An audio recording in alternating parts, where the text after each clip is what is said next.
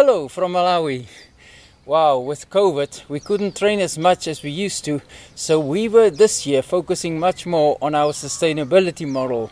And God has blessed us in such an amazing way. Right here, we have waste advisors on our property, and they're making compost on a commercial scale. We also have our wonderful cheese factory where we're manufacturing bicycle cheese with milk bought from local farmers right on the shelves in Blantyre and beyond.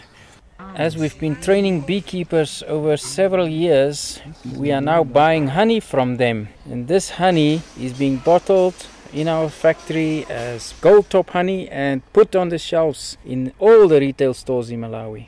We have something special just across the road from us. They are buying pineapples from local farmers, chopping it up and sterilizing it, putting it in a pouch and on the shelves in the retail stores. Our training farm is more productive than ever, and every day people come to purchase fresh organic vegetables.